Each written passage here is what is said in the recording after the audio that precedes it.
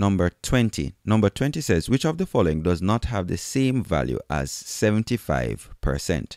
And the options we were given were A, 0.75, B, 75 over 100, C, 7.5, and D, 0.750. So let's look at option A.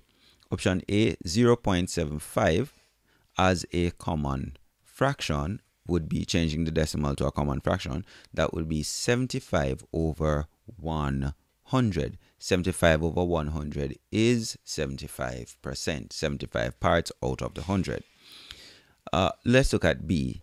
75 out of 100 is going to be 75%.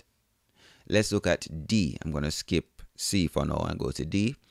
Um, 0.750 is 750 over a thousand.